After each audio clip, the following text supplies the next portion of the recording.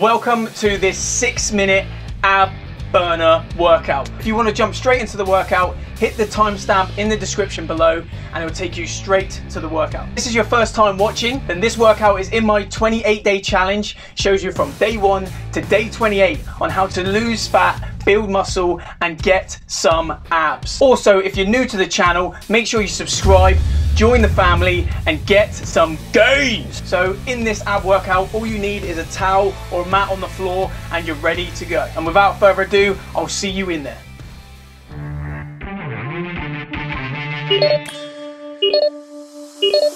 Música